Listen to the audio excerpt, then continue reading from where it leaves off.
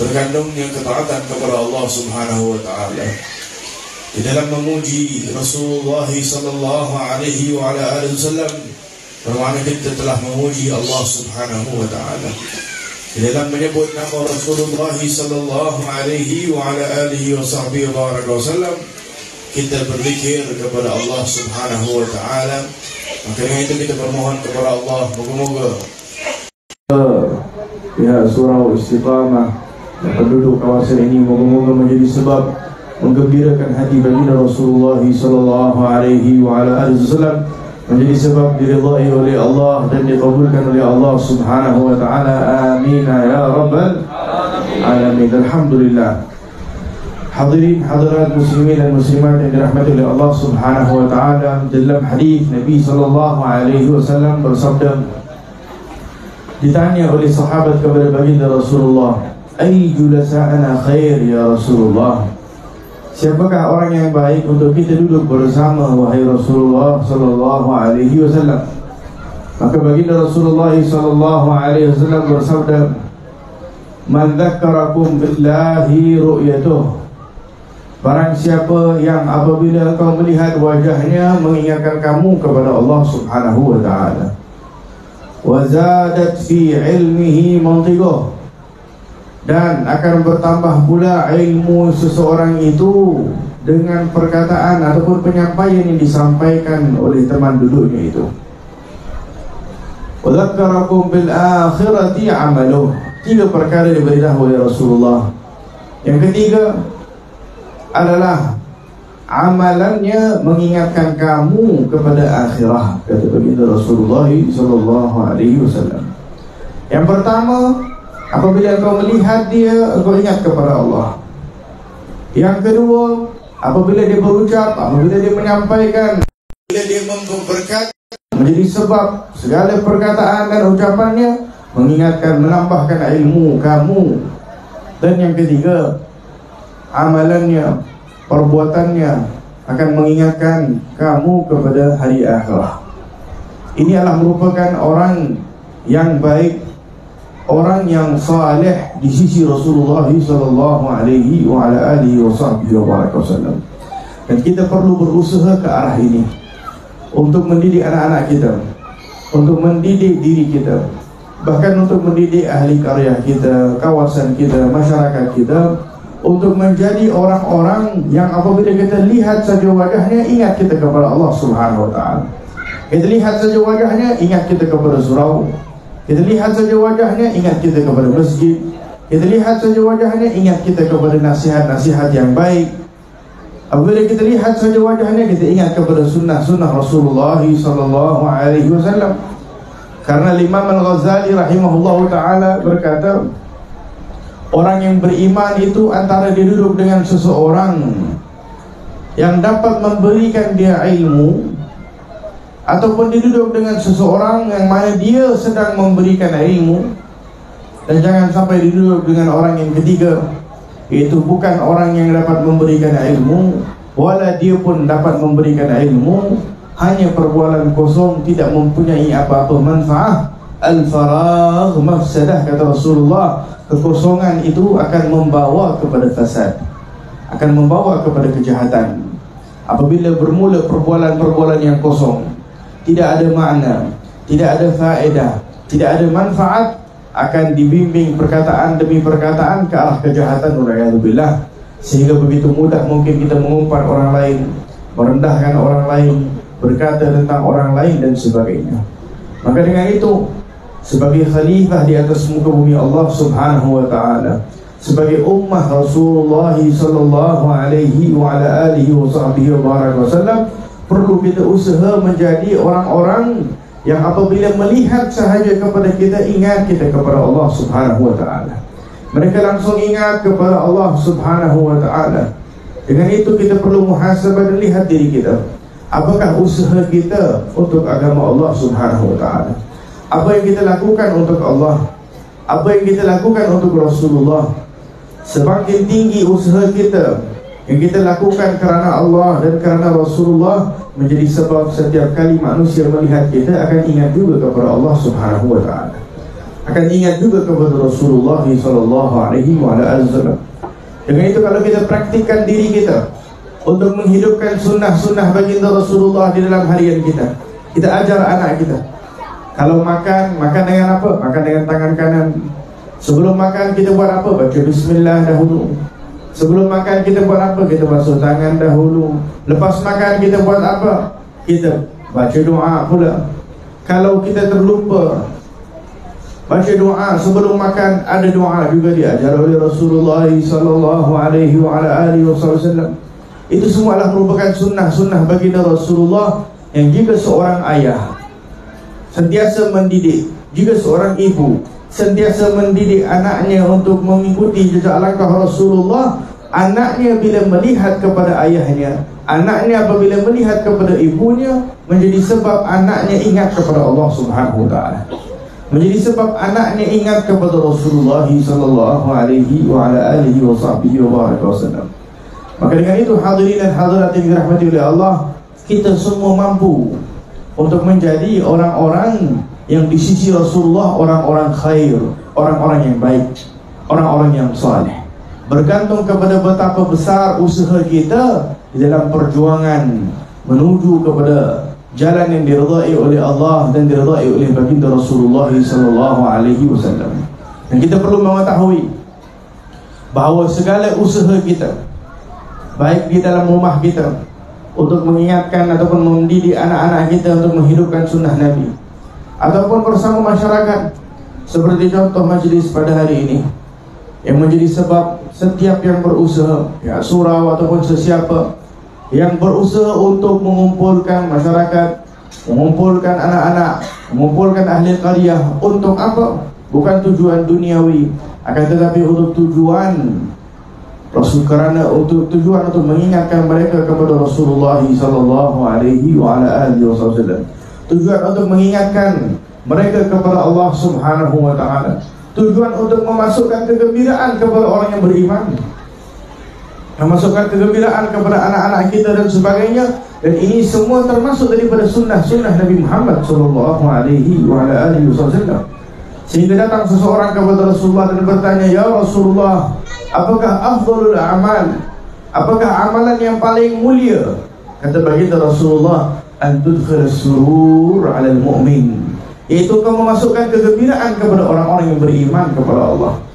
Tapi jika kita niat untuk memasukkan kegembiraan kerana Allah subhanahu wa ta'ala Kita niat untuk memasukkan kegembiraan kepada masyarakat kerana Allah subhanahu wa ta'ala Dengan menghimpunkan mereka, mengumpulkan mereka untuk Rasulullah wasallam semua itu akan termasuk daripada orang-orang yang berusaha yang menjadi sebab apabila kita lihat saja wajah mereka kita akan ingat nah inilah orang-orang yang suka mengumpulkan kita kerana Rasulullah SAW mengumpulkan kita kerana Allah Subhanahu Wa Taala.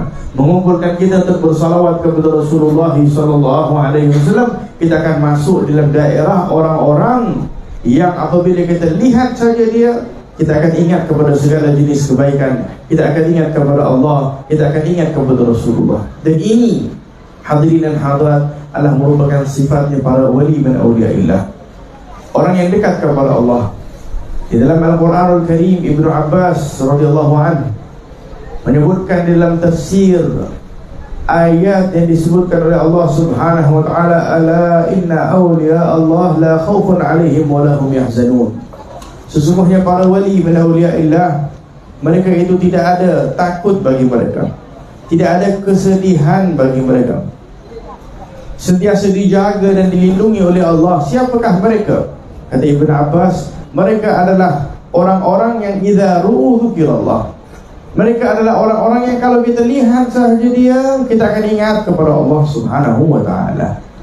Maka dengan itu hadirin dan hadirat kesempatan untuk kita menjadi orang-orang yang apabila masyarakat lihat kita, suami kita lihat kita, istri kita lihat kita, anak-anak kita lihat kita ingat kepada Allah dan ingat kepada Rasulullah sallallahu alaihi wasallam.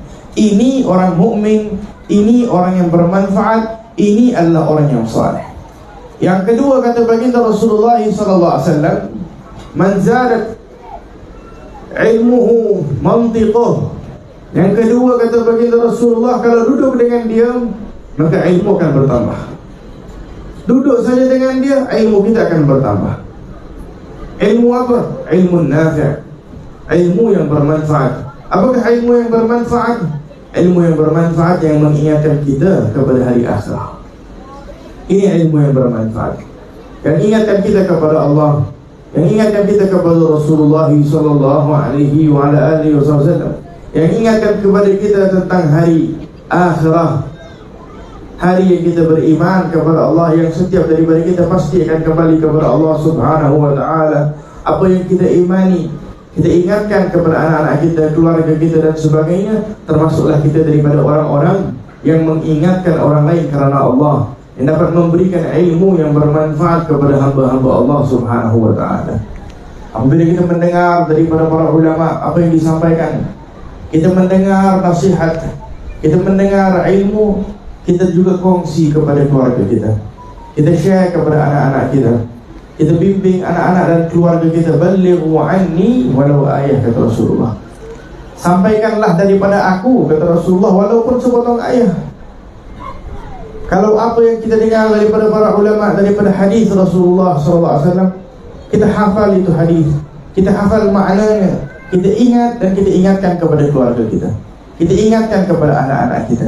Sehingga kelak di akhirat Kita mempunyai bukti Bahawa dahulu Kita pernah menyampaikan Wakil daripada Rasulullah SAW Balighu anni walau ayah. Kata Rasulullah sampaikanlah dari aku Walaupun sepotong ayah. Nabi nak kita semua jadi wakil kepada Rasulullah. Dengan itu orang yang paling banyak menghafal hadis Orang yang paling banyak menghafal Al-Quran Orang yang paling banyak menghafal Mempunyai ilmu yang luas Dinamakan ulama Dan ulama Warathatul Anbiya. Mereka adalah wakil. Mereka adalah pewaris Bagi Rasulullah SAW Sesungguhnya innal anbiya lam yuwarrithu dinaran wala dirhaman walakin hum warrathul ilm. Kata baginda Rasulullah SAW sesungguhnya para nabi para rasul tidak mewariskan harta dinar, emas, perak dan sebagainya tidak mewariskan hal itu. Tetapi yang Nabi SAW mewarisi setiap Nabi dan Rasul mewariskan apa? Mereka mewariskan ilmu. Orang siapa yang mempunyai ilmu maka dia telah mendapat keberuntungan, mendapat warisan yang besar daripada Rasulullah wasallam. Maka dengan itu apabila kita mendengar satu potongan hadis Nabi kita hafal dan kita ingatkan kepada keluarga kita kita ingatkan kepada anak-anak kita. Kita ingatkan kepada masyarakat supaya kita termasuk daripada orang-orang yang mewakili bagi Rasulullah wasallam. Man shalla alayya marratan. Kata Nabi SAW barang siapa yang berselawat sekali Allah berselawat sepuluh kali kepadanya. Hadis baginda Rasulullah. Ibtisamuka li akhika sadaqah. Senyumanmu kepada saudaramu sedekah kata Rasulullah hadis daripada baginda Rasulullah SAW perkataan yang baik kalimat tayyibatin sadaqah. Perkataan yang baik adalah sadaqah kata Rasulullah SAW hadis baginda Rasulullah SAW menjaga diri daripada kemaksiatan menjaga diri daripada kejahatan menjaga diri daripada kemarahan sifat marah yang boleh jadi menguasai seorang manusia la taghdab wala kal jannah kata Rasulullah. Jangan kau marah kau akan dapat syurga.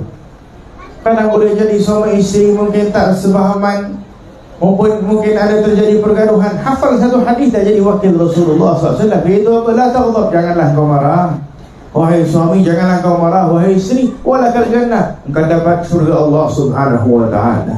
Hadis baginda Rasulullah sallallahu alaihi wasallam. Maka dengan itu kita perlu menjadikan di dalam kehidupan kita seharian bimbingan Rasulullah. Ada ajaran Rasulullah. Karena ajaran Rasulullah adalah nur cahaya di dalam kehidupan kita. Tidaklah setiap perkataan yang disampaikan Rasulullah kecuali mengandungi nur cahaya. Cahaya itu jika ikhlas kita ikuti, kita dengar, kita praktikkan ajaran baginda Rasulullah Satu sunnah Nabi menjadi sebab kebahagiaan kita dunia dan akhirat. Kita masuk ke dalam masjid dengan kaki, dengan kaki kanan Dengan niat mengikuti sunnah Nabi Kita akan menjadi orang yang bahagia. Akan ada cahaya Keikhlasan Cahaya kita hidupkan sunnah Nabi yang akan membuatkan kita bahagia di dunia dan akhirat. Karena kebahagiaan bukanlah terletak kepada harta benda, bukanlah terletak kepada harta yang banyak yang kita miliki, tetapi kebahagiaan adalah bergantung kepada ikutan kita kepada baginda Rasulullah sallallahu alaihi wa ala alihi wasallam. Karena manusia mempunyai segala macam keinginan. Mempunyai keinginan yang macam-macam. Ada yang inginkan rumah, ada yang inginkan kenderaan, ada yang inginkan itu, ada yang inginkan ini kata Nabi sallallahu alaihi wasallam. Manusia itu kalau dah dapat harta segunung daripada emas pun dia masih akan ada lagi keinginan. Dia tak akan berhenti. Dia nak pula lagi gunung yang kedua daripada emas. Dia dapat pula lagi ke gunung kedua Dia nak pula lagi gunung yang ketiga. Menunjukkan harta ini Dia tidak akan pernah kenyang. La yashba'u ithnan Kata Rasulullah SAW Dua jenis orang ini tak akan kenyang. Iaitu apa? Orang yang mencari dunia Dan orang yang mencari ilmu Beruntunglah orang kalau mencari ilmu Tetapi kalau mencari dunia Dia tak akan kenyang. Dapatlah berapa banyak harta pun Dia tidak akan merasa puas Maka dengan itu hadirin hadirat yang dirahmati oleh Allah Subhanahu wa taala, beruntunglah kita jika kita berusaha untuk menjadi Rasulullah sallallahu alaihi wasallam dalam kehidupan kita. Yang merupakan sebab kita akan bahagia. Yang akan menjadi sebab kita akan merasai kebahagiaan yang dirasai oleh orang-orang salihin sebelum kita. Yang boleh jadi orang-orang salihin sebelum kita tak punya apa-apa. Tetapi ada Rasulullah di dalam hati mereka menjadi sebab mereka ini bahagia dunia dan akhirat. Maka dengan itu hadirin dan hadirat yang dirahmati oleh Allah Subhanahu wa taala, keinginan yang banyak kepada setiap manusia. Rasulullah berkata, "La yu'minu ahadukum hatta yakun hawa taba'an lima ji'tu bih." Kata Rasulullah SAW, iman tak akan sempurna. Iman yang merupakan sumber kebahagiaan manusia tak akan sempurna, tak akan bercahaya selagi mana keinginanmu adalah ingin untuk mengikuti ajaran Rasulullah sallallahu alaihi wasallam. Keinginanmu kita boleh ingin macam-macam benda dunia dan seisinya. Hawa keinginan nak ke sana, keinginan nak ke sini, keinginan nak ke situ dan sebagainya. Boleh pergi ke bermacam negara dan sebagainya Tetapi dia ada keinginan nak pergi umrah Kerana apa? Keinginan dia ingin mengikuti jejak langkah Rasulullah SAW ingin untuk melakukan perkara yang diajar oleh Rasulullah SAW ini kata Nabi akan menjadi sebab sempurna iman. Dan kalau dah sempurna iman itulah tanda kebahagiaan kita orang-orang yang beriman. Maka dengan itu hadirin dan hadirat yang dirahmati oleh Allah Subhanahu wa taala jadilah kita orang-orang yang menjadi sebab apabila seseorang duduk dengan kita bertambah ilmu mereka. Bertambah ilmu mereka bertambah iman mereka kepada Allah Subhanahu wa taala. Dan yang ketiga kata baginda Rasulullah SAW teman yang baik orang yang paling bagus untuk kita duduk bersama siapa? Adalah mereka yang zakarakum bil akhirati amalum. Amalannya perbuatannya sentiasa ingatkan kita kepada akhirat Lisanul hal afsahu min lisanul maqal. Kadang-kadang perbuatan itu lebih sampai daripada perkataan. Seseorang yang menasihati orang untuk mempunyai akhlak yang mulia kalau dia sendiri tak mempunyai akhlak yang mulia, maka lisan hal tidak sampai yang hanya sampai lisan al-maqal. Lidah sahaja yang berkata tetapi keadaan tidak berkata. Maka dengan itu Apabila kita ingin menjadi khalifah di atas muka bumi Apabila kita ingin menjadi orang-orang yang mewakili Rasulullah sallallahu alaihi wasallam, jadilah kita orang-orang yang mempraktik agama Allah Subhanahu wa taala. Apabila ditanya kepada Sayyidina Aisyah bagaimana tentang Rasulullah? Kata Sayyidina Aisyah Rasulullah itu seumpama apa? Quran yang yamshi. Quran yang sedang berjalan. Bukan Quran yang dibaca, tetapi Quran yang sedang berjalan menunjukkan segala sifat, akhlak, adab yang terkandung di dalam Al-Quran ada pada ada pada seorang individu perkataannya, ucapannya dan sebagainya. Maka dengan itu hadirin dan hadirat yang dirahmati oleh Allah Subhanahu wa taala, usahalah untuk kita menjadi orang-orang yang kehidupan kita menjadi sebab orang ingat kepada akhirat. Orang ingat kepada akhirat. Orang ingat kepada syurga Allah Subhanahu wa taala. Orang ingat untuk takut kepada neraka Allah Subhanahu wa taala. Bagaimana? Dengan cara istiqamahnya kita di dalam ketaatan kepada Allah Subhanahu wa taala. Walladzina jahadu bina lanahdiyannahum subulana kata Allah Subhanahu wa taala yang berjuang, yang berusaha istiqamah di jalan kami, kami akan berikan dia hidayah. Kami akan berikan dia hidayah. Dan hidayah ini kalau dia dah istiqamah menjadi sebab hatta kalau dia tak bercakap pun akan mengalir hidayah ini kepada anak-anaknya, kepada keluarganya, kepada teman-temannya, kepada orang yang melihatnya. Maka dengan itu hadirin dan hadirat yang dirahmati oleh Allah Subhanahu wa taala, tiga ajaran baginda Rasulullah pada hari ini yang kita sampaikan. Yang kita ingin mengambil untuk kita ingat selamanya. Yang pertama kata baginda Rasul saat seseorang tanya kepada Rasulullah, siapakah teman yang baik untuk kita duduk? Siapakah teman yang baik? Kata Rasulullah yang pertama, mendakarakum billahi ru'yatah. Engkau lihat saja wajahnya, ingat kepada Allah. Yang kedua Manzadat fi ilmikum mantigah Yang kedua Apabila dia bercakap Percakapannya menambahkan ilmu Menambahkan ilmu yang bermanfaat kepada dirimu Dan yang ketiga Kata baginda Rasulullah Man zakarakum bil akhirati amaluh Iaitu orang yang amalannya Perbuatannya Ingatkan kamu kepada hari akhirah. Hadirin dan hadirat yang dirahmati oleh Allah Subhanahu wa taala. Sebutkan dalam sebuah kisah bahawa baginda Rasulullah sallallahu alaihi wa ala alihi wa sahbihi wa barak wasallam uh, para sahabat yang keluar daripada kota Madinah di dalam perjalanannya telah menangkap seorang seorang kafir seorang pembesar orang kafir. Ketua daripada kaumnya. Yang bernama Thumamah. Thumamah bin Uthal. Ini Thumamah berada di tengah-tengah jalan. Thumamah dahulunya nak bunuh Rasulullah sallallahu alaihi wa ala alihi wasallam. Thumamah ini niat daripada awal nak bunuh Rasulullah dan sebagainya. Di dalam perjalanannya tiba-tiba ditangkap oleh sahabat Nabi sallallahu alaihi wasallam yang mana para sahabat tersebut sebetulnya nak pergi ke daerah lain nak pergi berperang di daerah lain tetapi sekembalinya melihat Thumamah ini yang merupakan salah satu musuh Allah Subhanahu wa taala maka diambil dan ditawan. Ditawan, diambil, dibawa sebagai seorang yang uh, musuh Allah Subhanahu wa taala dibawa kepada Rasulullah SAW. Dan Thumamah ini adalah salah seorang ketua di dalam kaumnya. Orang yang kaya dan orang yang Eh, perniagaan-perniagaan besar semua adalah melalui beliau. Beliau ditangkap dan dibawa ke kota Madinah. Sampai di kota Madinah diikat di salah satu tiang di dalam masjid Rasulullah wasallam. Rasulullah apabila melihat Rasulullah kenal dia Thumamah. Kata dia Thumamah.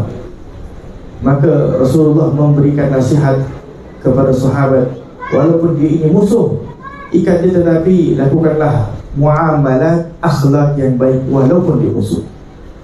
Berikan dia makan dan sebagainya jaga dia. Lepas tu Rasulullah diam. Berlalu hari pertama Rasulullah tanya kepada Thumamah wahai Thumamah mada indaka ya Thumamah? Wahai Thumamah ada apa hari ini ada nak cakap apa-apa tak kau dah kena tangkap ni ada nak cakap apa-apa maka kata Thumamah Ya Muhammad, wahai Muhammad kalau engkau nak bunuh aku, aku layak dibunuh. Kalau engkau inginkan harta, engkau tahu aku banyak harta. Aku boleh berikan kau harta.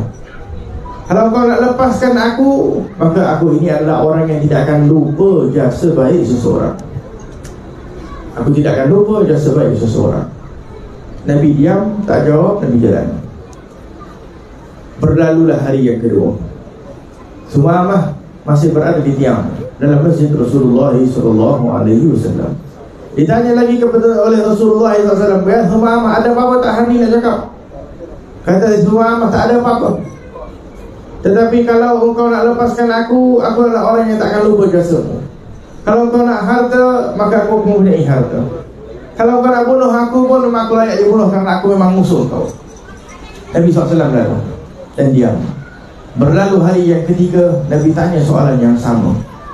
dan dijawab juga dengan jawapan yang sama oleh Sumamah. Bayangkan tiga hari berlalu. Hari pertama, hari kedua, hari ketiga.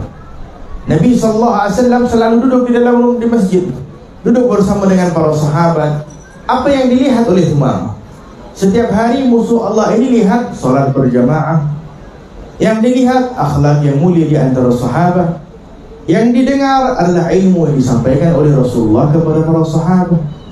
Yang dilihat adalah orang-orang yang saling mengingatkan kepada Allah, mengingat baik mengingati Allah Subhanahu wa taala. Walaupun tidak direct dakwahnya tadi oleh Rasulullah SAW Lepas berlalu tiga hari kata Rasulullah SAW melepaskan Sumama Para sahabat terkejut Ya Rasulullah Engkau nak lepaskan Sumama ini musuh? Ini orang layak ditangkap, layak dibunuh. Kata Rasulullah lepaskan lepaskan Sumama Maka mereka pun mendengar perintah Rasulullah Lepaskan Sumama Sumama pun dilepaskan. Dia bangun Dia berdiri Dia keluar daripada masjid Dia pergi kepada sebuah kawasan yang dekat berhampiran dengan masjid. Di bawah pohon kurma Ada kawasan air Ada kawasan telaga di situ Dia pun mandi, bersihkan diri dia Mensucikan dirinya Dia pun masuk kembali Ke dalam masjid. Eh, Sumama datang balik? Kenapa? datang balik dan sampai kepada Rasulullah mengulurkan tangannya kepada Rasulullah dan berkata asyhadu an la ilaha illallah wa asyhadu anna muhammadar rasulullah sallallahu alaihi wasallam. Sumamah masuk Islam.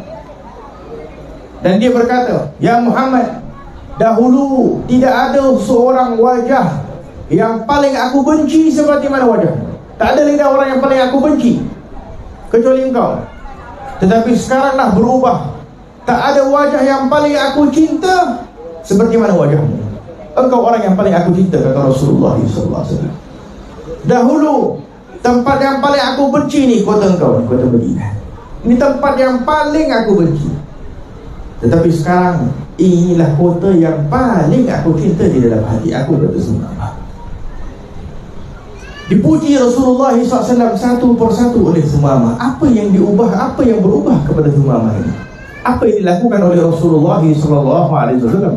Rasulullah tak dakwah direct pun. Rasulullah tak suruh dia masuk Islam pun. Rasul tak berkata masuklah kau kepada agama Islam. Tak ada pun. Rasulullah diam ya Rasul tanya ada apa tak nak cakap hari ini? Itu saja yang ditanya oleh Rasulullah wasallam. Tapi pengajaran kepada setiap daripada kita ketua masyarakat ketua keluarga ke ketua individu ke anak kita dan sebagainya supaya kita ingat bahawa hidayah ini milik Allah Subhanahu wa taala. Juga kita usaha untuk istiqamah di jalan Allah Subhanahu wa taala. Kita usaha memenuhi akhlak yang mulia, akhlak Rasulullah sallallahu alaihi wasallam. Kita istiqamah melakukan ketaatan. Tahajud ni kita di akhir lain boleh jadi menjadi sebab hidayah kepada keluarga kita. Tahajud kita di waktu malam yang tidak dilihat oleh manusia boleh menjadi sebab hidayah kepada jiran-jiran kita. Dahulu orang-orang saleh berkata, satu orang yang saleh duduk di kawasan jiran kita menjadi sebab seratus buah rumah dijaga dilindungi oleh Allah daripada musibah dan bala. Tak ada security wala ada apa security daripada Allah Subhanahu wa taala. Kenapa? Karena dia adalah hamba Allah yang saleh. Maka dengan itu Sumamah tadi masuk dalam agama Islam hanya karena melihat orang muslim. Melihat akhlak orang muslim, mendengar ilmu daripada orang muslim, melihat wajah-wajah yang ingat kepada Allah Subhanahu wa taala membuatkan dia yang awalnya musuh berubah menjadi orang yang cinta kepada Rasulullah sallallahu alaihi wasallam. Lepas tu dia adalah orang yang pertama melakukan umrah. Ini Sumamah, orang yang pertama melakukan umrah. Setelah dah pergi ke kota Madinah, setelah Nabi SAW berhijrah, yang ini orang pertama dah pergi ke umrah. Kufar-kufar, orang-orang kafir Quraisy masih berluasa di kota Mekah. Masih memegang kota Mekah. Dia berkata kepada Nabi SAW Ya Rasulullah aku nak pergi umrah. Aku nak minta izin pergi umrah. Duduk dia beberapa waktu di kota Madinah Belajar cara umrah dan sebagainya Minta izin kepada Nabi Ya Rasulullah aku nak pergi umrah. Didoakan oleh Rasulullah doa yang baik. Berangkatlah Tumamah ini Sampai kepada kota Mekah. Sampai dia kepada kota Mekah Maka dia pun melakukan umrah Orang-orang kufar Quraisy Ketua-ketua pembesar-pembesar Kufar Quraisy melihat dia melakukan umrah. Eh Sumamah dah berubah. Dulu kan Sama seperti kita Penyembah berhala. Apa jadi ni tiba-tiba berubah? Sehingga ada yang berkata Wahai Sumama kau dah tinggalkan ajaran datuk nenek moyang kau. Kau dah berubah. Kata dia tidak. Aku kembali kepada jalan yang benar. Aku kembali kepada jalan yang betul Aku masuk ke dalam agama Islam Dengan bangga Dengan keberanian yang luar biasa Dia menyebutkan di hadapan Orang-orang yang bertanya Orang-orang pembesar Quraisy, Orang-orang kuat Quraisy ni Dia berkata Aku dah masuk ke dalam agama Islam. Sehingga ada orang-orang yang begitu marah. Kerana kufar Quraisy adalah orang-orang yang terkenal dengan kezalimannya Menzalimi orang lain dan sebagainya. Sehingga ada orang-orang yang nak pukul Ada yang nak membunuh Thumamah tetapi orang-orang kufar Quraisy mengetahui kedudukan Thumamah di sisi masyarakat dia. Dia daripada kawasan yang berbeza. Eh jangan kau buat sesuatu yang pelik-pelik kepada Thumamah. Karena apa? Dia ini yang penyebab membawa makanan kepada kota Makkah. Salah satu bisnes yang besar kepunyaannya si Thumamah. Tepung, gandum dan sebagainya ini dahulu datang daripada kawasan dia ha, Tepung gandum ni semua datang dari Dan dulu adalah makanan asasi orang-orang Mekah. Maka masing-masing pun takut. Pikir maslahat ni pasal Dah habis umrah di tawaf dan sebagainya. Dia ingat ini. Orang-orang kafir yang menyiksa Nabi SAW Menyiksa para sahabat. Maka dia berkata Wahai kalian semua Ketahuilah Satu uh, Tepung pun tak akan sampai kepada kawasan engkau Sehinggalah kalian semua masuk dalam agama Islam. itu Kalian semua tak akan dapat apa-apa lagi dah. Walau tepung, walau apa pun gandum Kalau daripada kawasan aku Sikit pun kau tak akan dapat. Sampailah kalian masuk dalam Islam. Wassalamualaikum dia berjalan. Berlalulah beberapa waktu. Waktu Mekah berada di dalam keadaan kelaparan. Kota Mekah bayangkan berada dalam keadaan kelaparan. Diboykot oleh Humamah. Makanan tak boleh nak masuk kepada kota Mekah. Makanan asasi Berlalu beberapa waktu Berlalu beberapa waktu Semakin lapar orang-orang Mekah. Mereka dah buntu tak tahu nak berapa Sehingga mereka pun menghantar surat. Meminta syafaat Nabi Muhammad SAW ya, Orang kafir pun minta syafaat Nabi Muhammad. Di dalam mengutuk Nabi Di dalam menghina Nabi Meminta pertolongan daripada Nabi Muhammad SAW Ya hai Muhammad Cakaplah di cakapan yang baik. Engkau adalah keluarga kita sama-sama Quraisy juga. Tolonglah kita ni. Ini Sumamah dah masuk dalam agama Islam ni tiba-tiba dah boykot makanan apa pun dah tak masuk. Dan kita ni dah kelaparan itu ini dan sebagainya. Boleh sahaja Nabi biarkan. Biar boykot biar mati. Karena dahulu orang-orang kafir Quraisy juga pernah boykot Nabi. Lebih daripada 3 tahun duduk di dalam di satu lembah kepunyaan Abu Talib Sehingga ada dari para sahabat Nabi yang begitu lapar sampai makan dedaun Tak tahu nak makan apa lagi dah Kosong kelaparan. Sayyidina Khadijah habis semua harta dekat situ. Akhir-akhir dah habis. Bawa hartanya apa semua perjuangan di jalan Rasulullah SAW Nabi tak komplain tak? Bersabar saja. Ini baru, baru berlalu beberapa waktu dah kelaparan orang Mekah masing-masing minta tolong kepada Rasulullah. Apa yang dilakukan oleh Rasulullah? Nah ini akhlak yang kita sebutkan. Ini akhlak yang ada pada Rasulullah. Kalau kita kenal Rasulullah Kita tahu sifat Rasulullah Akan bertambah iman kita. Akan bertambah akhlak mulia kita. Maka sampai saja surat Kata Rasulullah SAW Biarlah Jangan diboykotkan lagi Izinkan mereka. Biarlah Umamah berikan makanan kepada mereka. Sambungkan import ekspor dari makanan ini biar. Diizinkan oleh baginda Rasulullah SAW mereka berterima kasih sedangkan mereka adalah musuh kepada Nabi Muhammad sallallahu alaihi wa ala alihi wa sahbihi wa. Maka dengan itu hadirin dan hadirat yang dirahmati oleh Allah, salah satu ajaran bagi Rasulullah sallallahu alaihi wasallam adalah melakukan kebaikan walaupun orang lain melakukan kejahatan kepada kita. Karena kalau kita melakukan kebaikan kepada orang yang melakukan kebaikan kepada kita, sudah tentu semua itu perkara mudah dan senang. Dengan itu apabila disebutkan tentang silaturahmi kata Nabi SAW Silaturahmi ini bukan hanya sahaja apabila dia sambungkan silaturahmi kita pun sambungkan silaturahmi. Silaturahmi yang sebenar adalah kita yang menyambungkan silaturahmi, dia memutuskan silaturahmi. Adik-beradik kita benci kepada kita boleh jadi mengutuk kita dan sebagainya kita tetap usaha melakukan kebaikan tetap berusaha nak menyambungkan silaturahmi selagi mana usaha kita terus nak menyambungkan silaturahmi nak jaga hubungan keluarga kita tak mahu ada kebencian dan sebagainya selagi itu ditulis oleh Allah orang-orang yang menjaga silaturahmi Orang yang melakukan kejahatan kepada kita kita balas dengan kebaikan. Itulah ajaran baginda Rasulullah sallallahu alaihi wasallam. Musuh Allah Sumamah yang dilakukan kebaikan. Dia nak buat jahat kepada Nabi, Nabi hanya balas kebaikan apa yang jadi. Berubah masuk kepada agama Islam. Maka dengan itu hadirin dan hadirat yang dirahmati oleh Allah Subhanahu wa taala, perlulah kita tidaklah keluar dari kalimat ini kecuali usaha untuk adakan waktu dengan keluarga kita, dengan masyarakat untuk ingatkan masyarakat kepada Rasulullah SAW akhlak Rasulullah SAW sifat Rasulullah SAW karena ini adalah sumber kebahagiaan kita semua sumber kebahagiaan anak-anak kita, sumber kebahagiaan masyarakat, sumber kebahagiaan keluarga kita, sumber kebahagiaan jiran-jiran kita. Kalau kita kenal akhlak Rasulullah, kalau kita kenal sifat Rasulullah, kalau kita kenal sirah dan keadaan baginda Rasulullah SAW, kita akan tangan berdoa dan meminta kepada Allah Subhanahu Wa Taala. Moga-moga majlis pada waktu ini insya-Allah diterima oleh Allah, dikabulkan oleh Allah Subhanahu Wa Taala. Dijadikan setiap usaha kita lakukan untuk Rasulullah menjadi sebab kita mendapat syafaat bagi Rasulullah kelak di yaumul qiyamah. Kita katakan berdoa dan meminta kepada Allah Subhanahu wa taala agar Allah Subhanahu wa taala mengampuni segala dosa kita.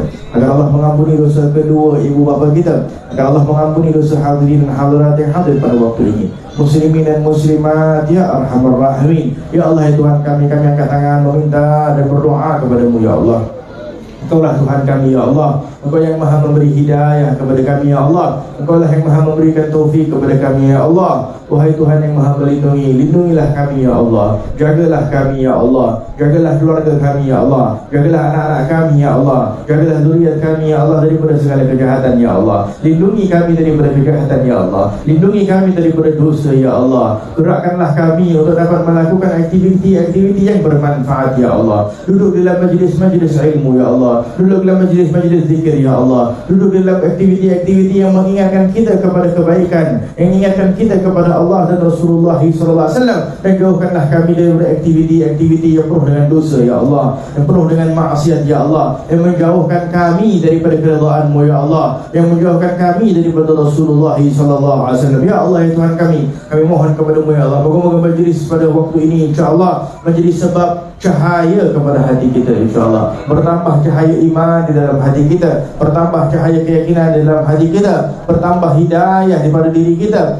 Bertambah keyakinan kepada Allah Subhanahu wa taala dalam hati kita. Ya arhamar rahimin. Allahumma ya munafiq ahli khair al khair wa anahum alaih. Wafiqna li kulli khairin wa inna alaih. Birahmatika ya arhamar rahimin. Allahumma ya muhawwil al ahwal hawil halana ila ahsani hal Allahumma ya muqallib al qulub wal absar thabbit qulubana ala dinika wa ala ta'atik Allahumma maghfiratuka awsa'u min dhunubina wa rahmatuka arja 'indana min a'malina wa ورحمتك أرجى عندنا من أعمالنا ورحمتك أرجى عندنا من أعمالنا برحمتك يا أرحم الراحمين يا أرحم الراحمين يا أرحم الراحمين kita bermohon kepada Allah Subhanahu wa taala moga-moga majlis pada waktu ini insyaallah menambahkan iman kita dan kita tutup dengan sama-sama kita akan menyebut kalimat tauhid dengan niat untuk memperbaharukan iman kita seperti mana ajaran Rasulullah sallallahu alaihi wa ala alihi wasallam kata baginda Rasulullah perbaharukanlah iman kamu dengan menyebut kalimat la ilaha illallah kita akan sebut kalimat la ilaha illallah dengan niat moga-moga. Tidak kita keluar kecuali bertambahnya iman kita kepada Allah Subhanahu wa taala.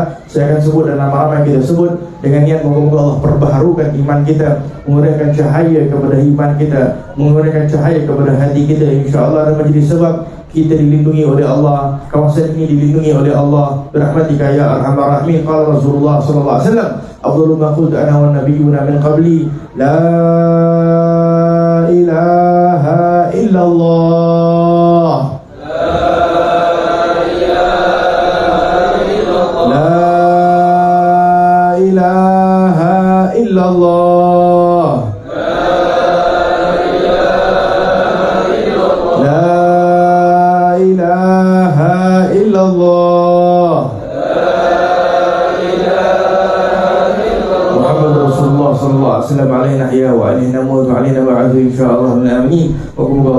Segala kebaikan. Setiap yang berusaha untuk melakukan majlis pada waktu ini insyaAllah pihak surau istiqamah dan seluruh para LJK dan seluruh para ketua-ketua masyarakat Moga-moga dibalas kebaikan oleh Allah subhanahu wa ta'ala. Dijadikan majlis ini insyaAllah majlis yang diterima oleh Allah subhanahu wa ta'ala. Wa sallallahu ala sayyidina Muhammad Wa ala alihi wa sahbihi wa barak wa sallam. Rabbil alamin. Bisiri asraril fatihah